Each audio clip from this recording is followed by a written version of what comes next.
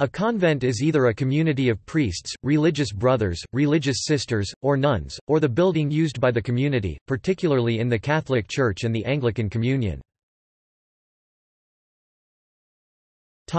Etymology and usage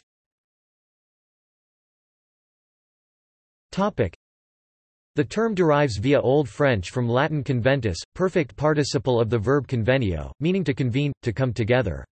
The original reference was to the gathering of mendicants who spent much of their time traveling. Technically, a monastery or nunnery is a community of monastics, whereas a friary or convent is a community of mendicants, and a canonry a community of canons regular.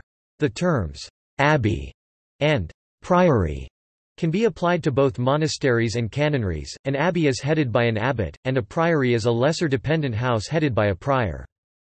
In English usage since about the 19th century the term convent almost invariably refers to a community of women, while monastery and friary are used for men. In historical usage they are often interchangeable, with convent especially likely to be used for a friary.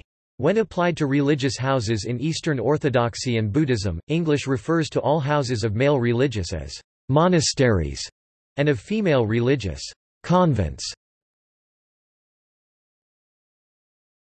Topic. See also. Topic. Christian monasticism. Enclosed religious orders.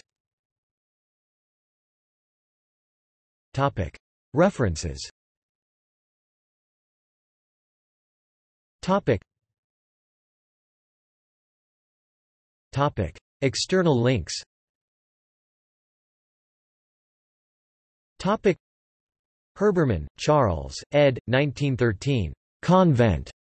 Catholic Encyclopedia. New York, Robert Appleton Company. Carmelite Monastery of the Sacred Hearts an example of a modern-day convent Chisholm, Hugh, ed. 1911. Convent. Encyclopædia Britannica 11th ed. Cambridge University Press.